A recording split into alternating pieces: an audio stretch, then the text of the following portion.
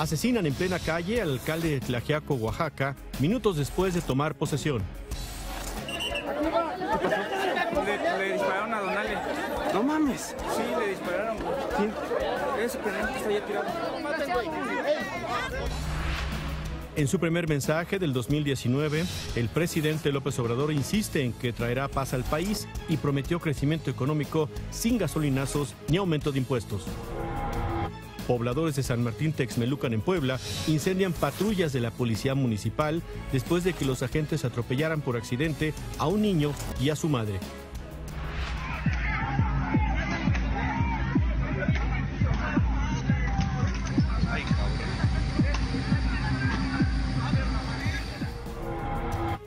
La patrulla fronteriza de Estados Unidos impide un cruce masivo de migrantes durante la noche de Año Nuevo en la frontera con Tijuana.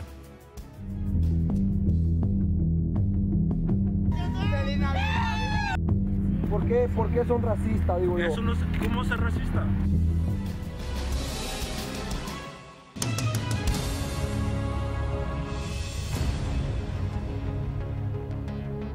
Buenas noches, gracias por estar con nosotros y darnos la oportunidad de iniciar este 2019 con usted. El morenista Alejandro Aparicio Santiago, alcalde de Tlajiaco, Oaxaca, fue asesinado esta mañana minutos después de haber tomado protesta.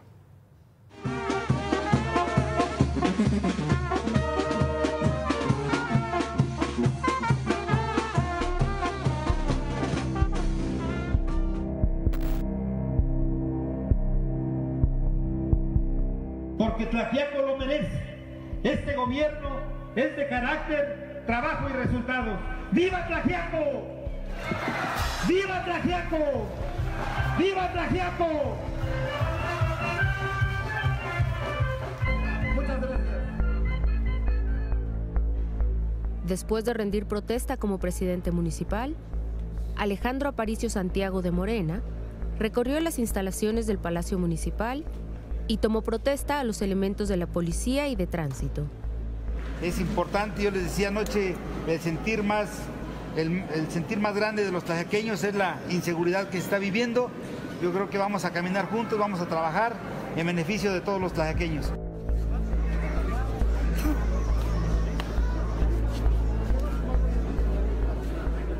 Luego de recorrer el Palacio Municipal, el alcalde salió caminando rumbo a las instalaciones de Ciudad Administrativa, acompañado de los integrantes del Cabildo y vecinos de Tlajiaco. Durante el recorrido sobre el Boulevard Oriente, al menos dos personas interceptaron a la comitiva y les dispararon. El alcalde recibió un disparo en el tórax y otras cuatro personas resultaron heridas. Le, dispararon a Donale. No mames. Sí, le dispararon. ¿Quién? Ese pendejo que está ahí tirado. Uno de los presuntos responsables fue detenido y golpeado por los pobladores.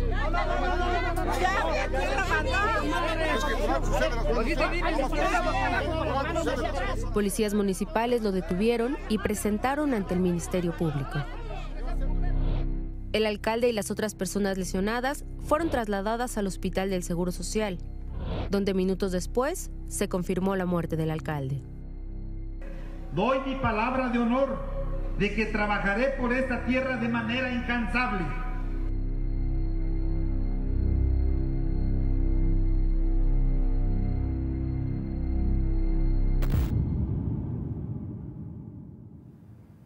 Bueno, pues obviamente el primer político asesinado en este año. La Fiscalía de Oaxaca confirmó que la persona detenida por estos hechos fue puesto a disposición de la Vicefiscalía Regional de la Mixteca. A través de un comunicado informaron que una de las cuatro personas que resultaron lesionadas continúa grave. El presidente López Obrador calificó este hecho como lamentable, dio a conocer que ya se comunicó con la esposa del alcalde fallecido. La presidenta eh, de Morena, Yetko Bolensky, pues condenó este asesinato y en su cuenta de Twitter describió tiempos de canallas, ataques cobardes en contra de gobiernos elegidos por el pueblo. Consternada, envío mi más sentido pésame y mi más amplia solidaridad a la familia del compañero Alejandro Aparicio y su cabildo, así como al pueblo de Tlajiaco en Oaxaca. Por su parte, el gobernador del estado, Alejandro Murat, escribió, condeno enérgicamente el ataque contra el presidente municipal de Tlajiaco, solicité una exhaustiva investigación al fiscal general, expreso mi pésame a los familiares y al pueblo de Tlajiaco. Y hablando de Oaxaca, en Juxtlahuaca, el alcalde reelecto de Morena, Nicolás Feria Romero, tuvo que rendir protesta en una sede alterna. El Palacio Municipal se encuentra tomado desde anoche por habitantes que de la comunidad pues acusan al alcalde de haber desviado recursos en la administración pasada. Esta mañana, el expresidente de México, Vicente Fox, volvió a lanzarse en Twitter contra el gobierno del presidente López Obrador. En un tuit, Fox le reclamó por el asesinato precisamente del alcalde de Tlajiaco y escribió Vicente Fox, López Obrador y luego la prometida paz para cuándo. En una segunda publicación, Fox criticó al secretario de Seguridad Pública, Alfonso Durazo, por la creación de la Guardia Nacional. Escribió, Alfonso Durazo, apúrale que la cosa está que arde. Todos en México sabemos del error histórico de la militarización emprendida por Calderón seguida por Peña y continuada por López Obrador. Más violencia, más muerte, más violaciones a los derechos humanos y al debido proceso.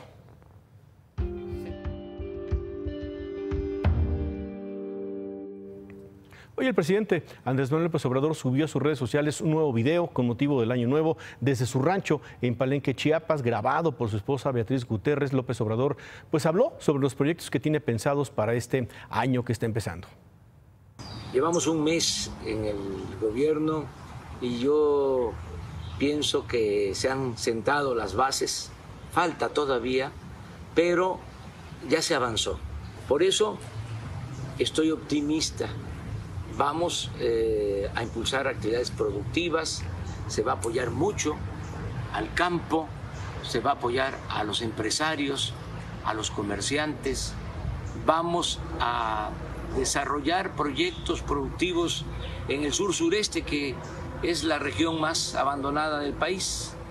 Vamos a bajar eh, la incidencia delictiva, ya estoy pendiente de eso. Vamos a lograr la paz, la tranquilidad en nuestro país. Vamos a conseguir la paz con armonía, con amor, con trabajo, con bienestar. La paz y la tranquilidad son frutos, siempre lo he dicho, de la justicia. En este mismo mensaje, el presidente López Obrador también habló sobre el crecimiento económico que prometió pues tendrá el país en este año y habló de la austeridad en este nuevo gobierno. Sin aumentar la deuda, sin impuestos nuevos, sin aumentar los impuestos vigentes, sin gasolinazos vamos a poder financiar el presupuesto. Es decir, vamos a tener eh, recursos suficientes para que haya crecimiento económico, que haya empleo, que haya bienestar, que haya paz, que haya tranquilidad en el país.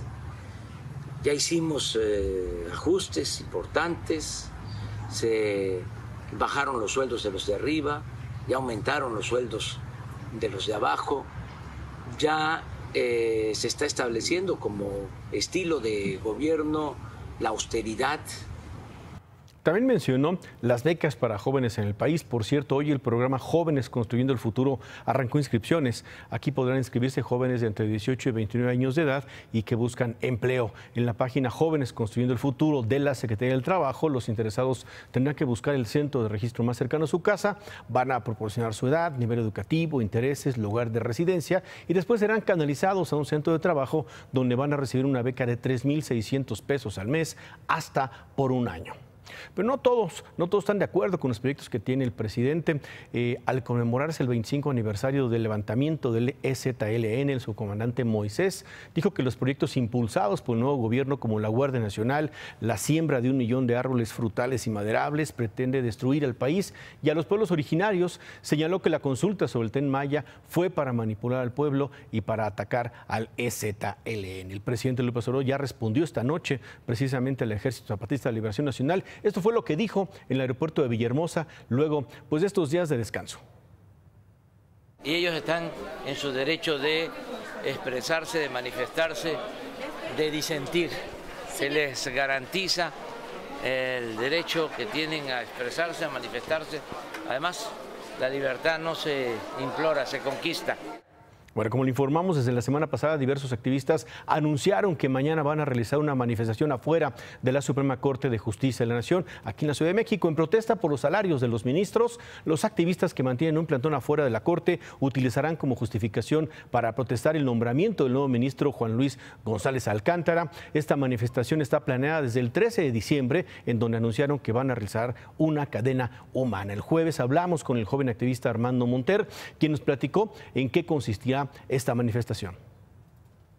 Decidimos hacer esta convocatoria porque eh, pues prácticamente nadie está ahí trabajando, los ministros se fueron eh, por 15 días y el recinto eh, permanece ahí abandonado. Hacer principalmente una cadena humana y sí, vamos a cerrar todos los accesos a la Suprema Corte de Justicia de la Nación. Bueno, durante la visita, la misa, perdóneme, la misa de Año Nuevo en la Basílica de Guadalupe, Franco Coppola, representante del Papa Francisco en México, dijo que la política puede ser un buen instrumento para que el país construya un ambiente de paz. También dijo que la sociedad está en peligro por la corrupción de quienes gobiernan, por lo que les pidió practicar la justicia y la equidad. La política puede ser un instrumento muy útil por la paz. Normalmente uno piensa que la política es algo sucio. No. Estamos convencidos de que la buena política está al servicio de la paz. Respeta y promueve los derechos humanos fundamentales, que son igualmente deberes recíprocos.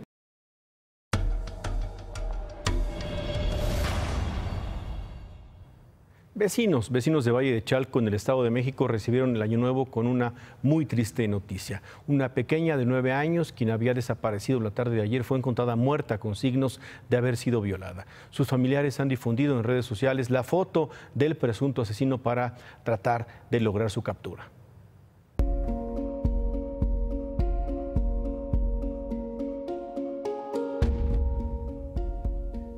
Camila, de nueve años, estaba jugando fuera de su casa en la colonia Poder Popular en Valle de Chalco, horas antes de recibir el Año Nuevo. A las 7 de la noche sus padres se dieron cuenta que Camila había desaparecido. La niña, pues, desgraciadamente, estaba jugando en la calle, estaba echando unos cuetitos aquí y nos dimos cuenta porque, pues, más que nada, dejó sus cohetes ahí tirados. Y lógico que un niño, pues, lo que hace es agarrar sus cohetes y irse, no, llevar sus cohetes. Sus padres comenzaron la búsqueda.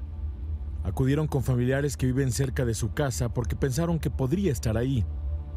También fueron a casa de sus vecinos. Pero Camila no aparecía. Horas más tarde, revisaron una casa que se ubica justo frente a su domicilio, en donde supuestamente vivía el vigilante de la colonia que tenía apenas unos días de haber llegado. Cerca de la casa fue encontrado el cuerpo de Camila con signos de haber sido violada. Es que sacando conclusiones, pues este tipo había estado todo el día merodeando aquí y este y pues ya decidimos este entrar a ver ahí qué era lo que había y pues ahí estaba la niña. Es donde el sujeto la agarró, la metió hacia adentro, hizo lo que sí es lo que él quiso. Desgraciadamente vivimos en, vivimos en un callejón, en un callejón que no tenemos salida.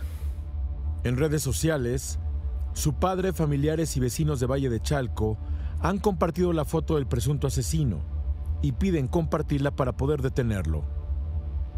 De acuerdo con vecinos, este hombre les había dicho que vivía ahí, pero resultó ser falso. Pues era muy carismática la chiquilla, era muy sociable. Mm, o sea, era como le decimos nosotros, era bien perica. Pues justicia, queremos justicia. ¿Sí? Fue, ahorita fue ella y después quién.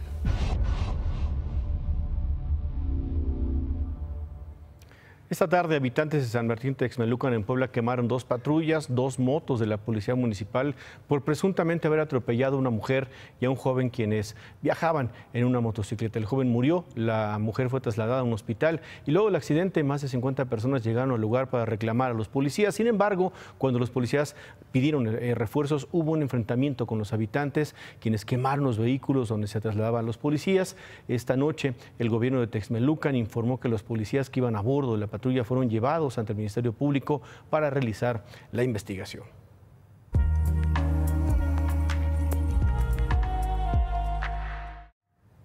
Ayer, ayer poco antes de la medianoche, migrantes centroamericanos intentaron cruzarla pues de manera ilegal la frontera con Estados Unidos por la zona de playas de Tijuana. Un grupo que intenta brincar, pues se sostiene una conversación con agentes de la patrulla fronteriza, les piden que los dejen pasar a territorio estadounidense y así se dan las cosas.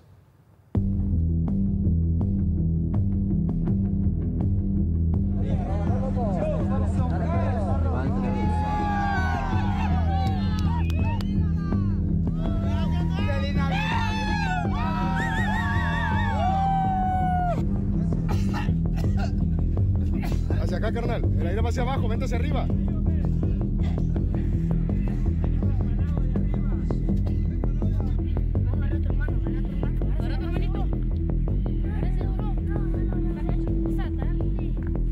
Nosotros solo les pedimos que por favor los de- si los dejan pasar. Mira, sí. Solo queremos una vida ¿Qué mejor es lo que quieren? ¿Qué, qué, qué es lo que quieren? Asilo, ¿verdad?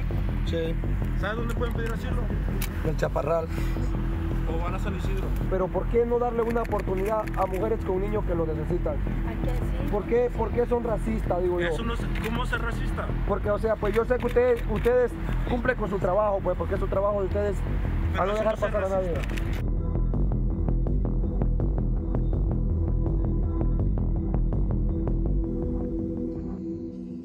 La Oficina de Aduanas y Protección Fronteriza confirmó que fueron 150 personas las que intentaron cruzar ilegalmente Estados Unidos ante la presencia de agentes de la patrulla fronteriza. 45 desistieron y regresaron a México.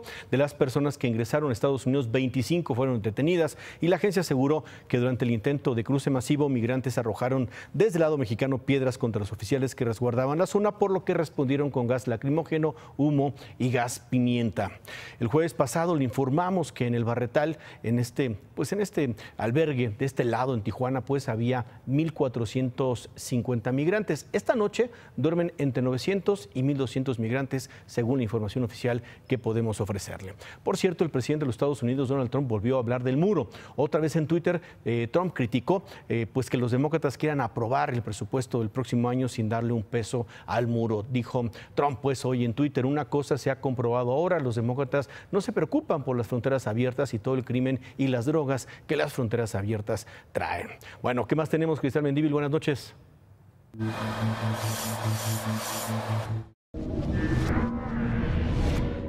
El primer bebé nacido en 2019 en la Ciudad de México fue una niña. Se llama Aileen. Pesó casi 3 kilos y midió 48 centímetros. Nació el primer minuto de hoy en el Hospital General de Zona de IMSS, ubicado frente al Parque de los Venados en la alcaldía Benito Juárez. Y fue el instituto quien compartió en sus redes sociales el video del momento de la llegada de Aileen al mundo. Esta es la tercera vez que el hospital registra el primer nacimiento del año. La madre de la pequeña, la señora Angélica Peralta, es de Oaxaca y tiene 30 años. Fue a consulta el 31 de diciembre y programaron la cesárea. Entró al quirófano cerca de la medianoche y es así como a las 12 con un minuto del primero de enero llegó Aileen. Ambas se encuentran en buen estado de salud.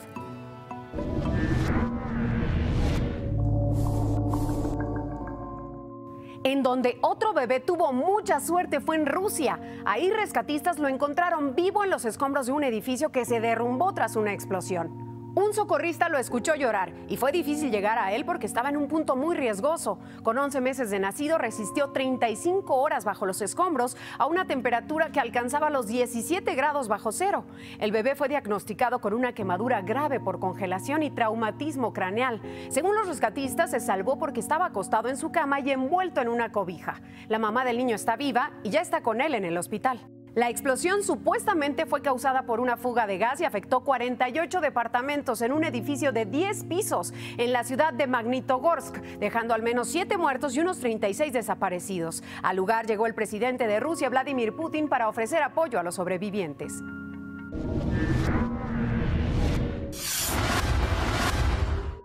Pero no en todo el mundo hubo un buen inicio de año. En Manchester, un hombre apuñaló a tres personas en una estación de tren. Esto ya se investiga como un acto terrorista. Un hombre y una mujer de unos 50 años están hospitalizados con heridas en abdomen y cara. Su estado de salud se reporta como grave pero estable. Un policía también recibió una puñalada en el hombro y ya fue dado de alta. El ataque sucedió en la estación Victoria, una de las más grandes y con más afluencia de usuarios de Manchester. Testigos aseguran que el autor del ataque gritó consignas islamistas estas son las imágenes del momento en que el responsable, de 25 años, es sometido por policías. Las autoridades han pedido la colaboración de quienes puedan aportar más detalles del atentado.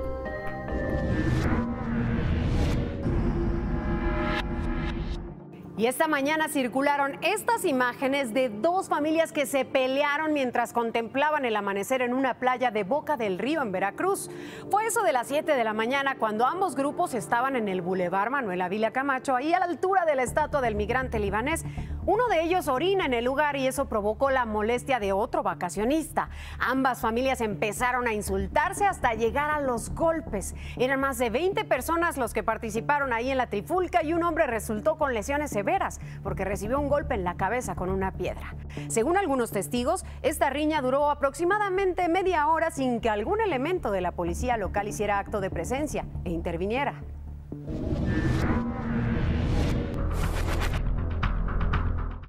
Hoy, la primera dama de Brasil, Michelle Bolsonaro, dio su primer discurso en la toma de posesión de su esposo, Jair Bolsonaro, como presidente de ese país. Ella lo hizo en lenguaje de señas. É uma grande honra e uma grande alegria estar aqui neste momento tão especial e importante para o nosso país. Momento de agradecer a todos vocês, brasileiros e brasileiras, crianças, jovens, idosos, por todo o apoio e pelo carinho desde o início da nossa campanha. En su mensaje agradeció a Carlos, hijo del presidente, por el apoyo que les dio durante la recuperación de Bolsonaro tras el atentado que sufrió en septiembre y prometió atención especial a las personas con discapacidad. La esposa del presidente brasileño rompió el protocolo logrando empatía con los presentes, mientras que el ultraderechista Jair Bolsonaro ofreció un discurso radical, añorando la dictadura militar que gobernó el país entre 1964 y 1985 y que enaltece los valores de la sociedad más conservadora. Manuel. Gracias, Cristal.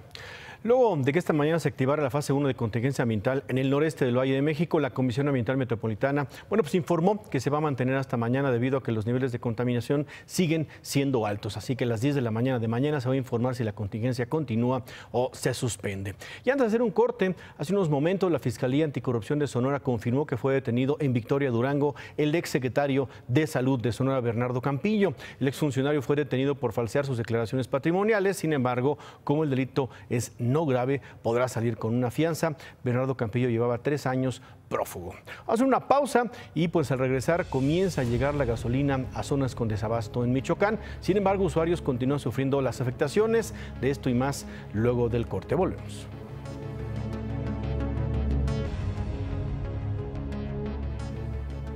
Ayer le informamos del problema del desabasto de gasolina en Michoacán que inició hace una semana. Hoy el empresario Mauricio Prieto informó que esta mañana Pemex envió pipas con combustible a las gasolineras. Señaló que a finales de esta semana podría quedar restablecido el servicio. A pesar de que ya empezaron a llegar las pipas, muchos automovilistas en Morelia están desesperados porque no saben dónde conseguir el combustible. Muy feo porque pues andamos así que tengo miedo que se me quede el carro en cualquier lado porque mire, tiene la rayita allí, la mera, y no puedo ponerle desde anoche. Pues no sé por qué las tienen cerradas, porque la van a subir o qué, o no entiendo, no entiendo. O porque no hay.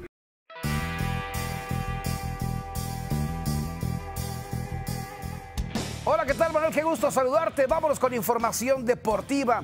Luego de que varios rumores ponían a Mauro Boselli en distintos equipos del fútbol mexicano, entre ellos las Águilas del la América, parece que las dudas se han disipado y es que el delantero argentino estará muy cerca de despedirse del Club León para llegar al Corinthians, uno de los grandes de Brasil, escuadra con la que ya solo le falta presentar exámenes médicos para concretar su pase. Se dice que el jugador argentino estaría viajando este fin de semana a Brasil viernes, sábado para afinar los detalles de su contrato. Sin duda se va uno de los grandes delanteros que ha venido a México en los últimos tiempos.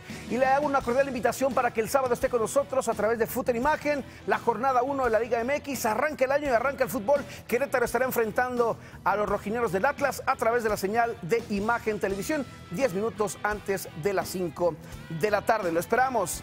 Y el empresario Jorge Méndez, representante del futbolista Jaime Rodríguez, sostendrá una reunión con directivos de la Juventus para negociar el posible traspaso del colombiano. La cita, la cita entre Méndez y los dirigentes de la escuadra italiana se dará en el marco de la entrega de los Globe Soccer Awards, premio que se entregan en Dubái este 3 de enero.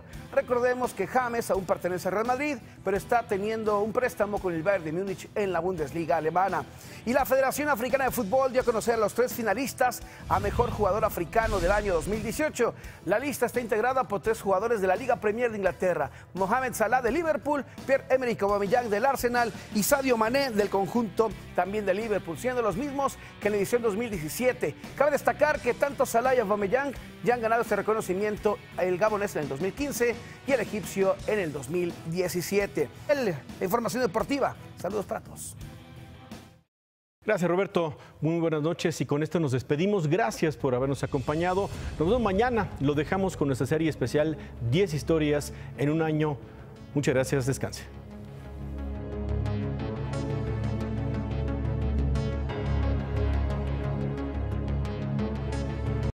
Imagen Noticias con Ciro Gómez Leiva, lunes a viernes 10.30 pm. Participa en Imagen Televisión.